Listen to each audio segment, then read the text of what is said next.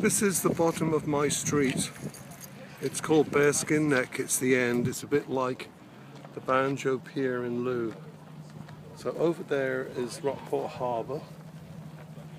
And over there somewhere is Europe.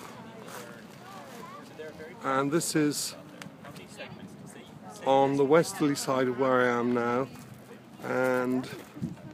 It goes into a place called Back Beach, which is the bottom of our street. And this is about eight minutes walk from where I live.